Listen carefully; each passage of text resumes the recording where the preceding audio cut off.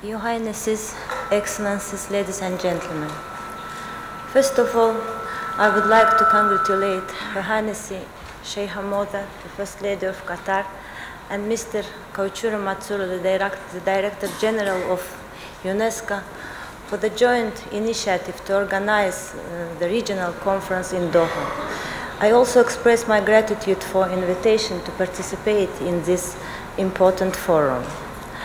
Our conference is devoted to the educational issues, but of course it has direct links to the global problems faced by mankind today. A great disproportion which exists between countries and people in the access to the education and the literacy level is one of the main reasons of current sensitive problems. There are a lot of countries where the economic development is going together with the development of science, education, and culture. And uh, population has uh, access to the latest achievements of progress.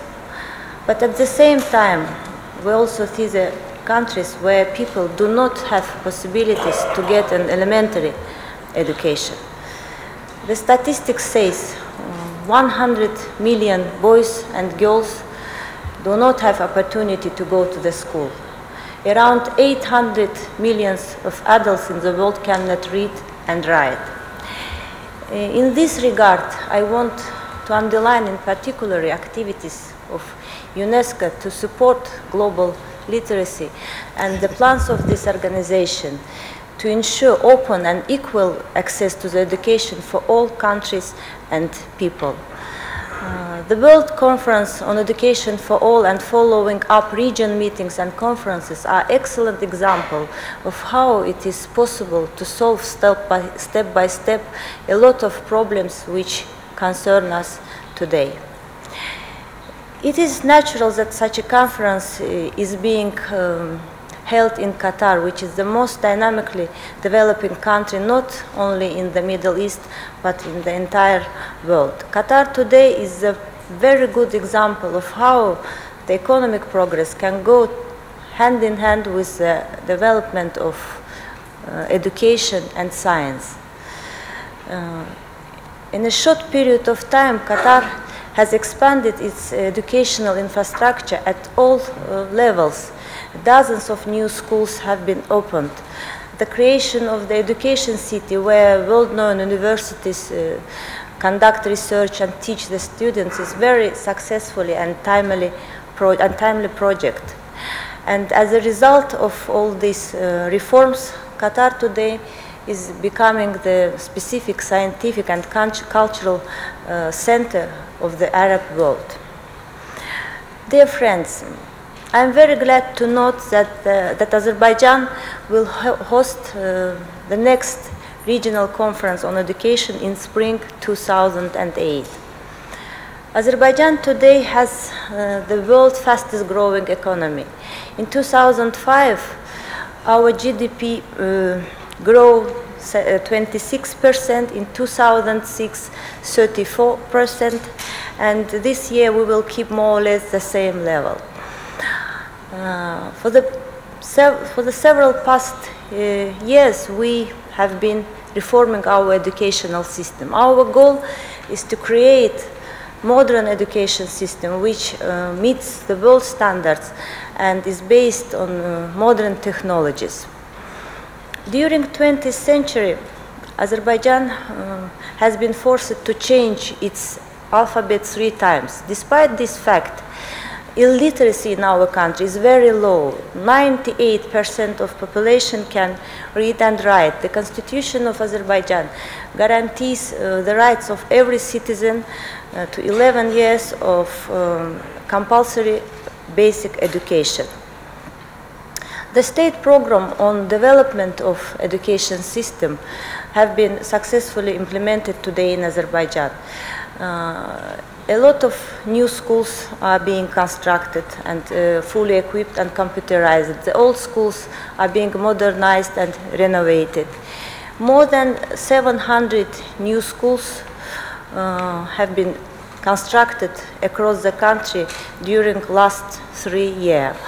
All of this is a part of uh, state program to use oil revenues in the non-oil sector of economy, and I believe there is no better investment than investment in education in our uh, future, the next generation.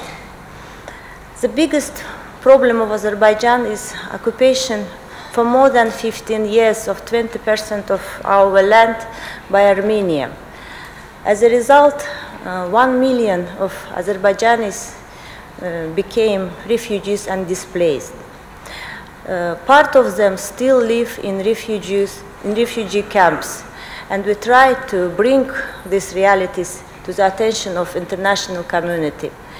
Despite of these uh, difficulties, the government is doing a lot uh, to provide the, uh, the opportunity uh, for refugees and displaced to get a good, a good education.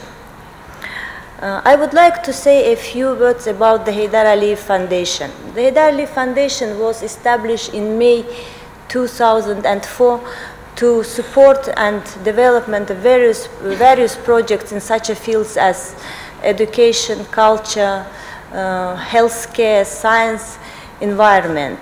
Since its creation, the Heydar Aliyev Foundation uh, has done a lot for the promotion of the cultural heritage and the development of education in our country. In the framework of our program New Schools for New Azerbaijan, more than 200 schools have been constructed and fully equipped uh, in our country. Some of these schools are in the most remote villages. Uh, we pay particular attention to the education of uh, children living in orphanages. Their facilities have been uh, modernized and provided with, with computers and libraries. In the framework of our joint project uh, with UNDP, uh, the new special education center uh, with audio library was built in Baku for the children with eyesight problems. Our foundation has a very strong relationship with international organizations, especially with UNESCO and ISESCO.